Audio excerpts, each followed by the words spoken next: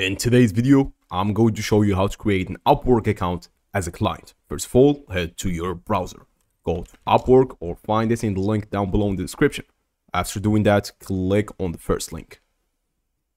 After doing that, make sure to click on the sign up and make sure that you have a valid email. Make sure that you toggle that I'm a client hiring for a project. Join as a client and then fill in all of those details. Going to do KMC, Emirates. Make sure this is a fake profile right here.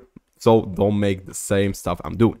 I'm going to disable this as I don't want emails in my account and I'm gonna accept the policy. Clicking create the account should result in my account to be created.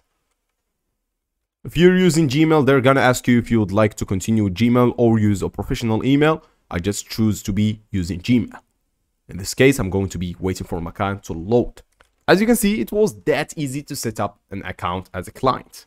And that's basically it. You've created your account successfully. You can, for example, try and do something like create a job listing. I'm looking for someone to create a screen casting.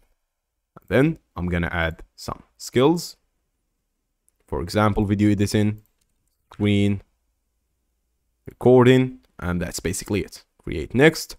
And I'm just gonna choose a small budget, less than one month, something entry, and I'm gonna click on next. I just have a project budget and I have it set, for example, for $100. Gonna add a description. Either I am looking for someone to create a simple screencast. And that's basically it. Going to review it and I'm gonna be good to go. Make sure to just verify your email and you will be good to go. To verify your email, all you have to do is do the following. Go to your email, find the email you've received and just paste the link. And that's basically it. You've created a client account and you've as well posted the job successfully.